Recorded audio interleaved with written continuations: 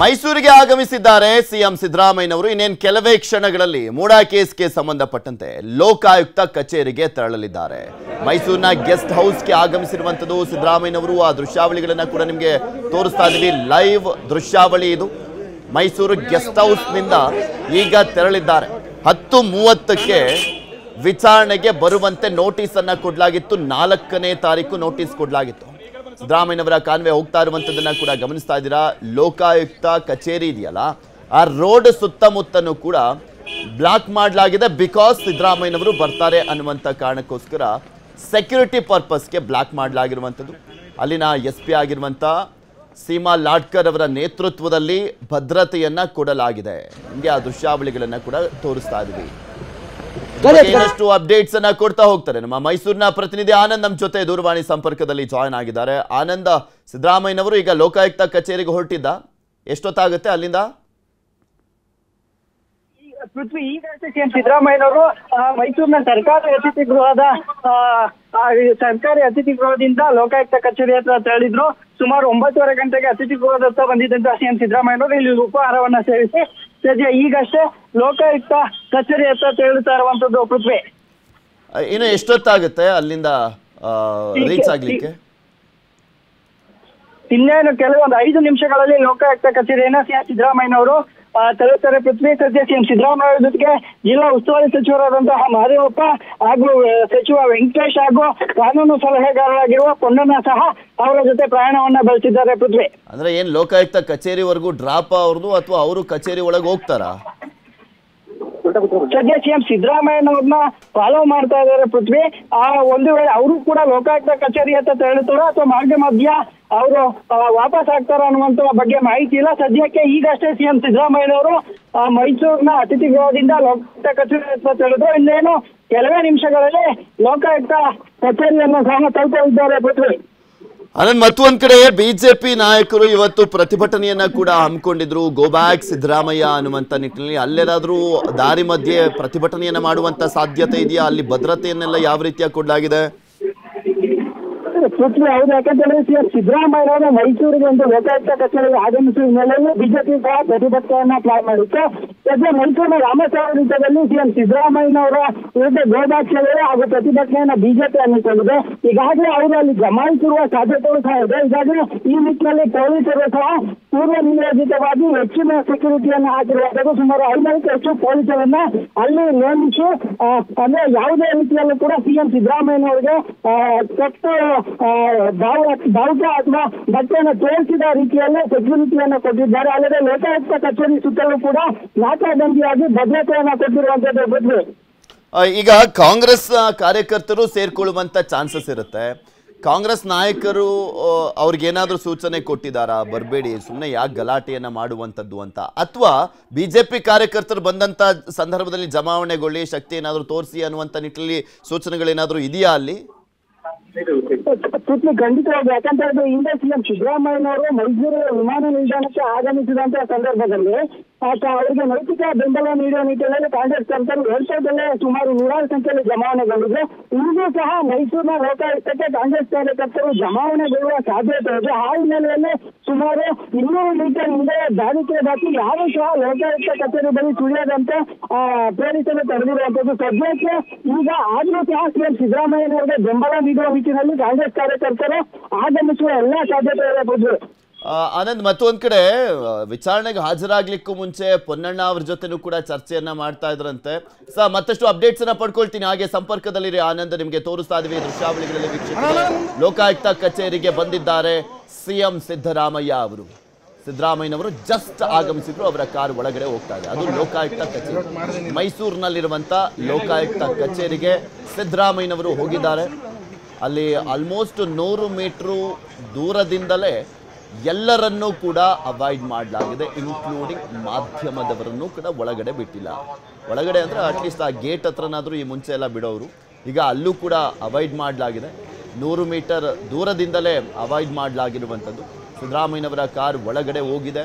ಸಿದ್ದರಾಮಯ್ಯನವರು ಈಗ ವಿಚಾರಣೆಯನ್ನು ಎದುರಿಸಲಿದ್ದಾರೆ. ಎಷ್ಟು ಪಾಸಿಬಲ್ ಇದೆಯೋ ಅಷ್ಟು ಆ ದೃಶ್ಯಾವಳಿಯನ್ನು ತೋರಿಸುವಂಥ ಪ್ರಯತ್ನವನ್ನ ನಮ್ಮ ಮೈಸೂರಿನ ಕ್ಯಾಮ್ರಾಮನ್ ಅಲ್ಲಿ ಮಾಡ್ತಾ ಇದ್ದಾರೆ, ನಿಮಗೆ ತೋರಿಸ್ತಾ ಇದ್ದೀವಿ. ಸಿದ್ದರಾಮಯ್ಯನವರು ಒಳಗಡೆ ಹೋಗ್ತಾ ಅಂತ ನೋಡಿ ಹಾಂ ಸಿದ್ದರಾಮಯ್ಯನವರು ಒಳಗಡೆ ಹೋದರು. ಸಿದ್ದರಾಮಯ್ಯನವರ ಜೊತೆಯಲ್ಲಿ ಅವರ, ಅವ್ರ ಜೊತೆ ಹೋದಂಥವರು ಕೂಡ ಹೋಗಿದ್ದಂಥ ದೃಶ್ಯಾವಳಿಯನ್ನ ಎಕ್ಸ್ಕ್ಲೂಸಿವ್ ಆಗಿ ತೋರಿಸ್ತಾ ಇದ್ವಿ ಎಷ್ಟು ಪಾಸಿಬಲ್ ಇದೆ ಅಂತ ಹೇಳಿದ್ನಲ್ಲ, ಎಷ್ಟು ಪಾಸಿಬಲ್ ಇದೆ ಆ ರೀತಿಯಾಗಿ ದೃಶ್ಯಾವಳಿಯನ್ನ ತೋರಿಸುವಂತ ಪ್ರಯತ್ನ ಮಾಡ್ತೀವಿ ಅಂತ ಆಲ್ಮೋಸ್ಟ್ ನಮ್ಮ ಕ್ಯಾಮ್ರಾಮನ್ ಅಲ್ಲಿ ಕ್ಲೀನಾಗಿ ಝೂಮ್ ಮಾಡಿ ಇಟ್ಟಿದ್ರು. ಒಳಗಡೆ ಎಂಟ್ರಿ ಆಗುವಂಥ ದೃಶ್ಯಾವಳಿಯನ್ನು. ಸಿದ್ದರಾಮಯ್ಯನವರು ಕ್ಯಾಪ್ಚರ್ ಆಗಿದ್ದನ್ನು ನಿಮಗೆ ತೋರಿಸಿದ್ವಿ. ಅಲ್ಲಿ ಯಾರೋ ನಮಸ್ಕಾರ ಹೊಡೆದ್ರು, ಅವರಿಗೆ ಸಲ್ಯೂಟ್ ಹೊಡೆದ್ರು ಮುಖ್ಯಮಂತ್ರಿಗಳಲ್ವಾ? ಸೊ ಹೀಗಾಗಿ ಸಿದ್ದರಾಮಯ್ಯನವರು ಕೂಡ ಅವರಿಗೆ ಸಲ್ಯೂಟನ್ನು ಹೊಡಿದ್ದನ್ನು ನಿಮಗೆ ತೋರಿಸ್ತಾ ಇದ್ವಿ. ಈಗ ಇನ್ನೇನು ಕೆಲವೇ ಕ್ಷಣಗಳಲ್ಲಿ ವಿಚಾರಣೆ ಆರಂಭವಾಗುತ್ತೆ. ಸಿದ್ದರಾಮಯ್ಯನವರಿಗೆ ಸಾಕಷ್ಟು ಪ್ರಶ್ನೆಗಳನ್ನು ಕೇಳಲಾಗುತ್ತೆ. ಬಿಕಾಸ್ ಸಿದ್ದರಾಮಯ್ಯನವರು ಮೂಡಾ ಪ್ರಕರಣಕ್ಕೆ ಸಂಬಂಧಪಟ್ಟಂತೆ ಆರೋಪಿ ನಂಬರ್ ಒನ್ ಮೂಡಾ ಪ್ರಕರಣದಲ್ಲಿ. ರಾಜ್ಯದ ಮೊಟ್ಟ ಮೊದಲ ಮುಖ್ಯಮಂತ್ರಿ ಲೋಕಾಯುಕ್ತ ವಿಚಾರಣೆಯನ್ನ ಎದುರಿಸ್ತಾ ಇರುವಂತ ಒಂದು ಕುಖ್ಯಾತಿ ಕೂಡ ಸಿದ್ದರಾಮಯ್ಯನವರಿಗೆ ಹೋಗ್ತಾ ಇದೆ. ಮೂಡಾ ಪ್ರಕರಣಕ್ಕೆ ಸಂಬಂಧಪಟ್ಟಂತೆ. ಲೋಕಾಯುಕ್ತ ಎಸ್ ಪಿ ಉದೇಶ್ ಅವರಿಂದ ವಿಚಾರಣೆಯನ್ನ ಮಾಡಲಾಗುತ್ತೆ. ಉದೇಶ್ ಅವರು ಸಿದ್ದರಾಮಯ್ಯನವರನ್ನ ವಿಚಾರಣೆ ಮಾಡ್ತಾರೆ. ಲೋಕಾಯುಕ್ತ ಒಳಗಡೆ ಹೋದಂತ ದೃಶ್ಯಾವಳಿ ನಿಮಗೆ ತೋರಿಸ್ತಾ ಇದೀವಿ. ಈ ಸಂದರ್ಭದಲ್ಲಿ ಪೊನ್ನಣ್ಣ ಕೂಡ ಹೋದ್ರು. ಸಿದ್ದರಾಮಯ್ಯನವರ ಕಾನೂನು ಸಲಹೆಗಾರ, ಶಾಸಕ ಪೊನ್ನಣ್ಣ. ಅವರು ಕೂಡ ಸಿದ್ದರಾಮಯ್ಯನವರ ಜೊತೆಯಲ್ಲಿ ಹೋಗಿದ್ದಂಥ ದೃಶ್ಯಾವಳಿಯನ್ನು ನಿಮಗೆ ತೋರಿಸ್ತಾ ಇದ್ದೀವಿ ಆಲ್ಮೋಸ್ಟ್ ದೊಡ್ಡ ದೊಡ್ಡ ನಾಯಕರೆಲ್ಲರೂ ಕೂಡ ಅವ್ರು ಸಂದರ್ಭದಲ್ಲಿ ಅವರ ಲಾಯರ್ಗಳನ್ನು ಕರ್ಕೊಂಡು ಹೋಗ್ತಾರೆ. ಇವರು ಲಾಯರ್ ಬೇರೆ. ಪೊನ್ನಣ್ಣ ಅವರು, ಹಾಗೆ ಶಾಸಕರು ಕೂಡ ಅಷ್ಟೇ. ಸಿದ್ದರಾಮಯ್ಯನವರ ಕಾನೂನು ಸಲಹೆಗಾರರು ಕೂಡ ಹೌದು. ಸಿದ್ದರಾಮಯ್ಯನವರು ವಿಚಾರಣೆಗೆ ಹಾಜರಾಗಿದ್ದಾರೆ. ಇನ್ನು ಇಪ್ಪತ್ನಾಲ್ಕನೇ ತಾರೀಕಿನ ಒಳಗಾಗಿ ತನಿಖಾ ವರದಿಯನ್ನ ಬೇರೆ ಕೊಡಿ ಅಂತ ಹೇಳ್ಬಿಡ್ತು ಕೋರ್ಟ್ ನಿನ್ನೆ. ನಾಗಪ್ರಸನ್ನ ಅವರ ಬೆಂಚು ಇಪ್ಪತ್ನಾಲ್ಕನೇ ತಾರೀಕು ಒಳಗಡೆ ಕೊಡಿ ಅಂತ ಸಿ ಬಿ ಐ ಅರ್ಜಿ ವಿಚಾರಣೆಯನ್ನ ಮಾಡುವಂಥ ಸಂದರ್ಭದಲ್ಲಿ. ಆಮೇಲೆ ಇಪ್ಪತ್ತಾರಕ್ಕೆ ವಿಚಾರಣೆಯನ್ನ ಮುಂದೂಡಲಾಗಿದೆ. ಸೊ, ಹೀಗಾಗಿ ಇನ್ನಷ್ಟು ಚುರುಕನ್ನು ಪಡೆದುಕೊಳ್ತಾ ಇದೆ ಈಗ ಲೋಕಾಯುಕ್ತ ತನಿಖೆ. ಮೂಡ ಪ್ರಕರಣಕ್ಕೆ ಸಂಬಂಧಪಟ್ಟಂತೆ ನೋಡಿದ್ವಲ್ಲ ನಾವು? ಅಂದ್ರೆ ಈ ಪ್ರಕರಣದಲ್ಲಿ ಎಫ್ಐಆರ್ ದಾಖಲಾಗಿದ್ದು A one Siddaramaiah, A two Parvati, A three Mallikarjun Swamy, Siddaramaiah ಬಾಮೈದ A four Devaraju ಜಮೀನನ್ನು ಕೊಟ್ಟಂತಹ ವ್ಯಕ್ತಿ. ಈ ಈ A one, A two, A three, A four ಇತ್ತಲ್ಲ, ವಿಚಾರಣೆ ಮಾಡಿದ್ದು ಹೆಂಗೆ ಅಂದ್ರೆ A four, A three, A two, A one ಈ ರೀತಿಯಾಗಿ ವಿಚಾರಣೆಯನ್ನ ಇದ್ದಾರೆ.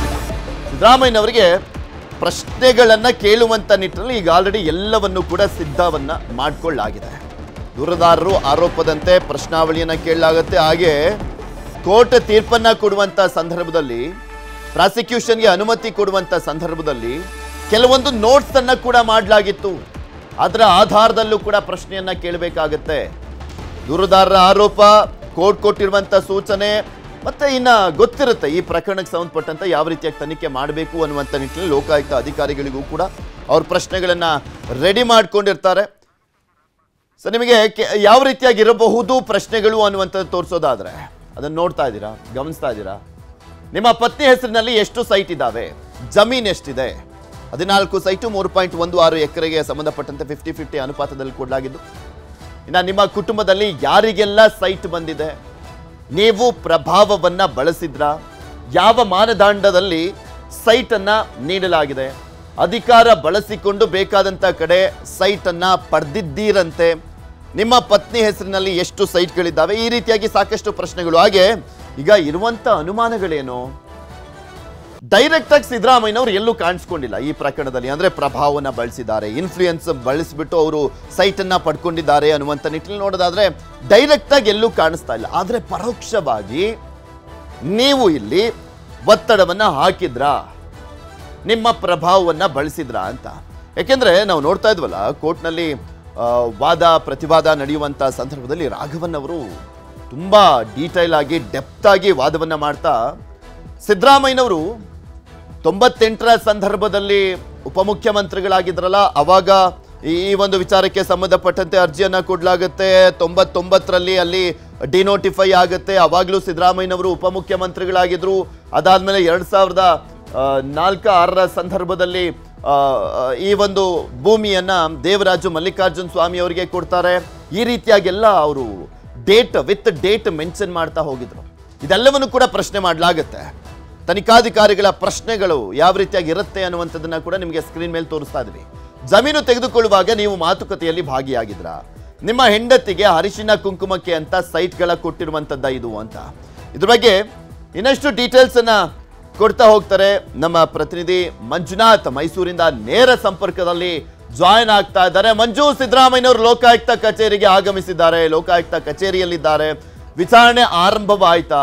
ಈ ವಿಚಾರಣೆ ಆರಂಭ ಆದಂತ ಸಂದರ್ಭದಲ್ಲಿ ಯಾವ ರೀತಿಯಾಗಿ ಅವರನ್ನ ವಿಚಾರಣೆ ಮಾಡಲಾಗುತ್ತೆ? ಈಗಷ್ಟೇ ಮೈಸೂರಿನ ಲೋಕಾಯುಕ್ತ ಕಚೇರಿಗೆ ಸಿಎಂ ಸಿದ್ದರಾಮಯ್ಯ ಅವರು ವಿಚಾರಣೆ ಸಲುವಾಗಿ ಹಾಜರಾಗಿರುವಂತದ್ದು ದೃಶ್ಯದಲ್ಲೂ ಕೂಡ ನೀವು ನೋಡ್ತಾ ಇರಬಹುದು ಸಿಎಂ ಸಿದ್ದರಾಮಯ್ಯ ಅವರು ಯಾವುದೇ ರೀತಿಯಂತ ಭದ್ರತೆ ಇಲ್ಲದೆ ಕೇವಲ ಒಂದು ಎಸ್ಕಾರ್ಟ್ ಮುಖಾಂತರವಾಗಿ ಈಗಾಗಲೇ ಮೈಸೂರಿನ ಲೋಕಾಯುಕ್ತ ಕಚೇರಿಗೆ ಅವರು ಬಂದಿದ್ದಾರೆ. ಯಾಕಂದ್ರೆ ಇಲ್ಲಿ ಪ್ರಮುಖವಾಗಿ ಇನ್ನೊಂದು ಏನು ವಿಚಾರ ಅಂತಂದ್ರೆ ಸಿದ್ದರಾಮಯ್ಯ ಅವರು ಯಾವುದೇ ಸರ್ಕಾರಿ ವಾಹನವನ್ನು ಕೂಡ ಬಳಸಿಲ್ಲ. ಬದಲಾಗಿ ಖಾಸಗಿ ವಾಹನದಲ್ಲಿಯೇ ಅವರ ಕಾನೂನು ಸಲಹೆಗಾರ ಪೊಣ್ಣನ್ನ ಜೊತೆಗೂಡಿ ಅವರು ಲೋಕಾಯುಕ್ತ ಕಚೇರಿಗೆ ಬಂದಿದ್ದಾರೆ. ಇಲ್ಲಿ ಪ್ರಮುಖವಾಗಿ ಬೆಳಿಗ್ಗೆಯಿಂದಲೂ ಕೂಡ ಅಷ್ಟೇ ಕಾನೂನು ಸಲಹೆಗಾರ ಪೊಣ್ಣನ ಜೊತೆ ಅವರು ಚರ್ಚೆಯನ್ನ ಮಾಡ್ತಾ ಇದ್ರು. ಲೋಕಾಯುಕ್ತ ಅಧಿಕಾರಿಗಳು ಯಾವ ರೀತಿಯಂತ ಪ್ರಶ್ನೆಗಳನ್ನ ಕೇಳಬಹುದು ಯಾವ ರೀತಿಯಾದಂತಹ ದಾಖಲೆಗಳನ್ನ ಏನಾದ್ರು ಕೇಳ್ತಾರ, ಅಥವಾ ಓರಲ್ ಆಗಿ ಏನಾದ್ರು ಪ್ರಶ್ನೆಗಳನ್ನ ಕೇಳ್ತಾರ, ನಾವೇನಾದ್ರೂ ದಾಖಲಾತಿಗಳನ್ನ ಅವರಿಗೆ ಪ್ರೊವೈಡ್ ಮಾಡಬೇಕಾಗುತ್ತೆ. ಈಗ ಸಾಕಷ್ಟು ವಿಚಾರಗಳನ್ನು ಕೂಡ ಅಷ್ಟೇ ಚರ್ಚೆ ಮಾಡಿದ್ರು.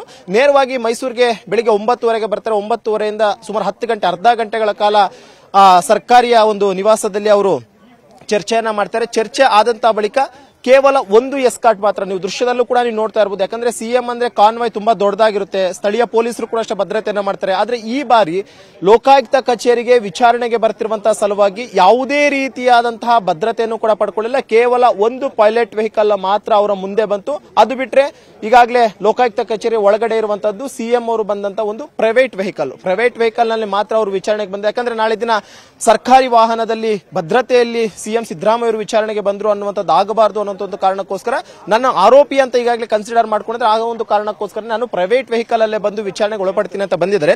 ಜೊತೆಗೆ ಉದೇಶ್ ಅವರು ಕೂಡ ಅಷ್ಟೇ, ಸುಮಾರು ಒಂಬತ್ತುವರೆಗೆ ಅವರು ಕೂಡ ಅಷ್ಟೇ ಲೋಕಾಯುಕ್ತ ಕಚೇರಿಗೆ ಬಂದರು. ಅವರು ಸುಮಾರು ಇಪ್ಪತ್ತರಿಂದ ಇಪ್ಪತ್ತೈದು ಪ್ರಶ್ನೆಗಳನ್ನು ಈಗಾಗಲೇ ಅವರು ಮಾಡ್ಕೊಂಡಿರುವಂತದ್ದು ಅದರಲ್ಲೂ ಕೂಡ ಪ್ರಮುಖವಾಗಿ ಸಿಎಂ ಸಿದ್ದರಾಮಯ್ಯ ಅವರು ತಮ್ಮ ಅಧಿಕಾರವನ್ನ ಬಳಸಿಕೊಂಡು, ಪ್ರಭಾವವನ್ನ ಬಳಸಿಕೊಂಡು, ಸೈಟ್ಗಳನ್ನು ಎಲ್ಲೆಲ್ಲಿ ಬೇಕೋ ಅಲ್ಲಿ ತಗೊಂಡಿದ್ದಾರೆ ಅನ್ನುವಂತಹ ಒಂದು ಆರೋಪ ಕೇಳಿಬಂದಿದೆ. ಆ ಒಂದು ವಿಚಾರದ ಸಲುವಾಗಿ ಸುಮಾರು ಇಪ್ಪತ್ತರಿಂದ ಇಪ್ಪತ್ತೈದು ಪ್ರಶ್ನೆಗಳನ್ನು ಈಗಾಗಲೇ ತನಿಖಾಧಿಕಾರಿ ಕೂಡ ಸಿದ್ಧತೆಯನ್ನ ಮಾಡ್ಕೊಂಡಿರುವಂತದ್ದು ಅದರಲ್ಲೂ ಕೂಡ ಪ್ರಮುಖವಾಗಿ ನಿಮ್ಮ ಪತ್ನಿಯ ಮೇಲೆ, ಅಂದ್ರೆ ಪತ್ನಿಗೆ ಎಷ್ಟು ಸೈಟ್ಗಳು ಮೂಡಾದಿಂದ ಬಂದಿದೆ, ಕೇವಲ ನಿಮ್ಮ ಪತ್ನಿಗೆ ಮಾತ್ರ ಅಥವಾ ನಿಮ್ಮ ಕುಟುಂಬಸ್ಥರಲ್ಲಿ ಬೇರೆ ಯಾರಿಗಾದ್ರೂ ಸೈಟ್ಗಳನ್ನು ಕೊಡಲಾಗಿದೆಯಾ? ಸೈಟ್ಗಳನ್ನು ಕೊಟ್ಟಿದ್ರೆ ಯಾವ ಒಂದು ಮಾನದಂಡದಲ್ಲಿ ಸೈಟ್ಗಳನ್ನು ಹಂಚಿಕೆ ಮಾಡಲಾಗಿತ್ತು? ಜೊತೆಗೆ ಏನು ಮೂರು ಪಾಯಿಂಟ್ ಒಂದು ಆರು ಎಕರೆ ಜಮೀನೇನು ಕೆಸರೆ ಗ್ರಾಮದಲ್ಲಿತ್ತು? ಆ ಒಂದು ಜಮೀನನ್ನ ಡಿನೋಟಿಫೈ ಆದಂತಹ ಬಳಿಕ ನೀವು ಇನ್ಫ್ಲೂಯೆನ್ಸ್ ಅನ್ನ ಬಳಸಿದ್ರಿ. ಯಾಕಂದ್ರೆ ಉಪಮುಖ್ಯಮಂತ್ರಿಗಳಾಗಿದ್ದಂತಹ ಸಂದರ್ಭದಲ್ಲಿ ನೀವು ಅರ್ಜಿಯನ್ನು ಹಾಕೊಂತೀರಾ ತದನಂತರ ಆ ಒಂದು ವೇಳೆಯಲ್ಲಿ ಅಧಿಕಾರವನ್ನು ನೀವು ದುರ್ಬಳಕೆ ಮಾಡಿಕೊಂಡು ಅಧಿಕಾರಿಗಳಿಗೆ ಒತ್ತಡವನ್ನು ಹಾಕೊಂಡು ನಿಮಗೆ ಬೇಕಾದಂತ ಕಡೆಗಳಲ್ಲಿ ಹದಿನಾಲ್ಕು ಸೈಟ್ಗಳನ್ನು ನೀವು ಪಡ್ಕೊಂಡಿದ್ದೀರಾ ಅನ್ನುವಂತ ಒಂದು ಮಾತು ಕೂಡ ಅಷ್ಟೇ ಕೇಳಿ ಬಂದಿದೆ ಅದಕ್ಕೆ ಏನ್ ಹೇಳ್ತೀರಾ ಅಂತ ಒಂದಷ್ಟು ಸಹಜವಾಗಿ ಒಂದಷ್ಟು ಏನು ಆರೋಪಗಳಿತ್ತು, ಆ ಒಂದು ಆರೋಪಗಳಿಗೆ ತಕ್ಕಂತೆ ಸುಮಾರು ಇಪ್ಪತ್ತರಿಂದ ಇಪ್ಪತ್ತೈದು ಪ್ರಶ್ನಾವಳಿಗಳನ್ನು ಕೂಡ ಈಗಾಗಲೇ ತನಿಖಾಧಿಕಾರಿ ಸಿದ್ಧತೆಯನ್ನು ಮಾಡಿಕೊಂಡಿದ್ದಾರೆ. ಬಹುತೇಕ ಈಗ ಇರುವಂತಹ ಮಾಹಿತಿಯ ಪ್ರಕಾರ ಒಂದೂವರೆಯಿಂದ ಎರಡು ಗಂಟೆಗಳ ಕಾಲ ಇನ್ವೆಸ್ಟಿಗೇಷನ್ ಮಾಡಬಹುದು ಅನ್ನೋದ್ರ ಬಗ್ಗೆ ಇದೆ ಯಾಕಂದ್ರೆ ಎಲ್ಲಾ ಪ್ರಶ್ನೆಗಳು ಕೂಡ ಸರಾಗವಾಗಿ ಉತ್ತರವನ್ನು ಕೊಡಬೇಕಾಗುತ್ತೆ ಸಿಎಂ ಸಿದ್ದರಾಮಯ್ಯ ಅವರು ಯಾವತ್ತೂ ಕೂಡ ಅಷ್ಟೇ ತಮ್ಮ ರಾಜಕೀಯ ಜೀವನದಲ್ಲಿ ಈ ರೀತಿಯಾದಂತಹ ಒಂದು ವಿಚಾರಣೆಯನ್ನು ಎದುರಿಸಲಿಲ್ಲ. ಯಾಕಂದ್ರೆ ನಲವತ್ತು ವರ್ಷದಲ್ಲಿ ಯಾವುದೇ ಒಂದು ವಿಚಾರಣೆ ಎದುರಿಸಲಿಲ್ಲ, ಯಾವುದೇ ಒಂದು ಪ್ರಕರಣದಲ್ಲಿ ಅವರು ಆರೋಪಿ ಅಂತ ಅನಿಸ್ಕೊಂಡಿಲ್ಲ. ಆದ್ರೆ ಈಗ ಏನು ಅದು ಕೂಡ ಅವರು ಸಿಎಂ ಆಗಿದ್ದಂತ ಸಂದರ್ಭದಲ್ಲಿ ಮೂಡಾದಲ್ಲಿ ಹಂಚಿಕೆ ಆದಂತಹ ಸೈಟ್ಗಳಲ್ಲಿ ಇವರು ಪ್ರಭಾವವನ್ನು ಬಳಸಿಕೊಂಡು ಬೇಕಾದ ಕಡೆ ಸೈಟ್ಗಳನ್ನು ತಗೊಂಡಿದ್ದಾರೆ ಅನ್ನೋ ಗಂಭೀರವಾದಂತಹ ಆರೋಪ ಏನಿತ್ತು. ಆ ಆರೋಪಕ್ಕೆ ಪೂರಕ ಎಂಬ ರೀತಿಯಲ್ಲಿ ಈಗಾಗಲೇ ಅವರು ವಿಚಾರಣೆಗೂ ಕೂಡ ಅಷ್ಟೇ ಹಾಜರಾಗಿದ್ದಾರೆ. ಯಾಕಂದ್ರೆ ಎಸ್ ಪಿ ಉದೇಶ್ ಅವರು ಕೂಡ ಅಷ್ಟೇ ಎಲ್ಲಾ ಪ್ರಶ್ನಾವಳಿಗಳನ್ನ, ಸಿದ್ಧತೆಯನ್ನ ಮಾಡಿಕೊಂಡು ಸಿಎಂ ಅವರಿಗೆ ಪ್ರಶ್ನೆಗಳನ್ನ ಕೇಳ್ತಾ ಇರುವಂತದ್ದು ಏನು ವಿಚಾರಣೆ ಕೂಡ ಈಗಾಗಲೇ ಮೈಸೂರಿನ ಲೋಕಾಯುಕ್ತ ಕಚೇರಿ ಒಳಗಡೆ ಆರಂಭವಾಗಿದೆ. ಬಹುತೇಕ ಒಂದು ಹನ್ನೆರಡು, ಹನ್ನೆರಡುವರೆವರೆಗೂ ಕೂಡ ವಿಚಾರಣೆ ನಡೆಯುವಂತಹ ಸಾಧ್ಯತೆ ಇದ್ದು ಸಿಎಂ ಸಿದ್ದರಾಮಯ್ಯ ಅವರು ತಮ್ಮ ಕಾನೂನು ಸಲಹೆಗಾರ ಪೊಣ್ಣನ ಜೊತೆಗೂಡಿ ಕೂಡ ಬಂದಿದ್ದಾರೆ. ಆದರೆ ಪೊಣ್ಣನವ್ರನ್ನ ಒಳಗಡೆ ಎಂಟ್ರಿ ಬಿಡೋದಿಲ್ಲ. ಯಾಕಂದ್ರೆ ಕೇವಲ ಆರೋಪಿ ಅನ್ಸ್ಕೊಂಡಿರುವಂತಹ ವ್ಯಕ್ತಿಯನ್ನ ಮಾತ್ರ ವಿಚಾರಣೆಯನ್ನು ಮಾಡ್ತಾರೆ. ಅದು ಬಿಟ್ಟರೆ ಅವ್ರ ಜೊತೆಯಲ್ಲಿ ಯಾರಿಗೂ ಕೂಡ ಅಷ್ಟೇ ಅವಕಾಶವನ್ನು ಕೊಡೋದಿಲ್ಲ. ಬದಲಾಗಿ ಪೊಣ್ಣನವರು ಲೋಕಾಯುಕ್ತ ಕಚೇರಿಯಲ್ಲಿ ವೇಟ್ ಮಾಡ್ತಾರೆ. ಸದ್ಯಕ್ಕೆ ಸಿಎಂ ಸಿದ್ದರಾಮಯ್ಯ ಅವರು ಉದೇಶ್ ಅವರ ಒಂದು ಚೇಂಬರ್ ಇಂದ ಆ ಒಂದು ಚೇಂಬರ್ನಲ್ಲಿ ಕೂತ್ಕೊಂಡು ಪ್ರತಿಯೊಂದು ಪ್ರಶ್ನೆಗಳು ಕೂಡ ಉತ್ತರವನ್ನು ಕೊಡಬೇಕಾಗಿರುತ್ತೆ. ಇಲ್ಲಿ ಪ್ರಮುಖವಾಗಿ ನಾಳೆ ದಿನ ಕೋರ್ಟ್ ಕೂಡ ಅಷ್ಟೇ ಈ ಒಂದು ಪ್ರಕರಣವನ್ನು ಬಹಳ ಸೂಕ್ಷ್ಮವಾಗಿ ಗಮನಿಸ್ತಾ ಇರುವಂತಹ ಕಾರಣಕ್ಕೋಸ್ಕರ ವಿಡಿಯೋ ರೆಕಾರ್ಡ್ ಮಾಡ್ಕೊಳ್ಳುವಂತ ಒಂದು ಚಾನ್ಸಸ್ ಕೂಡ ಅಷ್ಟೇ ಇರುತ್ತೆ. ಯಾಕಂದ್ರೆ ನಾಳೆ ದಿನ ಸಿಎಂ ಸಿದ್ದರಾಮಯ್ಯ ಅವರನ್ನ ಇವರು ಯಾವುದೇ ರೀತಿಯ ತನಿಖೆಗೆ ಒಳಪಡಿಸಲೇ ಇಲ್ಲ. ಕೇವಲ ಅವರನ್ನ ಕೂಡಿಸ್ಕೊಂಡ್ಬಿಟ್ಟು ಸೈನ್ ಹಾಕಿಸ್ಕೊಂಡು ವಾಪಸ್ ಕಳಿಸಿದಾರೆ ಅನ್ನುವಂತ ಒಂದಷ್ಟು ಆರೋಪಗಳು ಬರುತ್ತೆ. ಆ ಒಂದು ಕಾರಣಕ್ಕೋಸ್ಕರ ಯಾವುದೇ ಆರೋಪಗಳಿಗೂ ಕೂಡ ಅಷ್ಟೇ ನಾವು ಒಳಗಾಗಬಾರದು ಅನ್ನೋ ತನಿಖಾಧಿಕಾರಿಗಳು ಅವಶ್ಯಕತೆ ಇದೆ ಅಂದಂತ ಪಕ್ಷದಲ್ಲಿ ವಿಡಿಯೋ ರೆಕಾರ್ಡ್ ಅನ್ನು ಕೂಡ ಮಾಡಿಕೊಳ್ಳುವಂತ ಸಾಧ್ಯತೆ ಇದೆ. ಬಹುತೇಕ ಈ ಒಂದು ಪ್ರಕರಣದಲ್ಲಿ ಪ್ರತಿಯೊಂದು ವಿಚಾರವನ್ನು ಕೂಡ ಅಷ್ಟೇ ಕೋರ್ಟ್ ಗಮನಕ್ಕೆ ಕೊಡಬೇಕಾಗಿದೆ. ಕೋರ್ಟ್ಗೆ. ಕೂಡ ಅಷ್ಟೇ ವರದಿಯನ್ನು ಸಲ್ಲಿಕೆ ಮಾಡಬೇಕಾಗಿದೆ. ಆ ಒಂದು ಕಾರಣಕ್ಕೋಸ್ಕರ ಆಲ್ಮೋಸ್ಟ್ ವಿಡಿಯೋ ಚಿತ್ರೀಕರಣವನ್ನು ಕೂಡ ಮಾಡ್ಕೊಳ್ತಾರೆ. ಸದ್ಯಕ್ಕೆ ವಿಚಾರಣೆ ಮುಗಿದಂತ ಬಳಿಕ ಸಿಎಂ ಸಿದ್ದರಾಮಯ್ಯ ಅವರು ಏನ್ ರಿಯಾಕ್ಟ್ ಮಾಡ್ತಾರೆ ಅನ್ನುವಂಥದ್ದನ್ನು ಕೂಡ ನಾವು ನೋಡಬೇಕಾಗಿರುತ್ತೆ ಪೃಥ್ವಿ.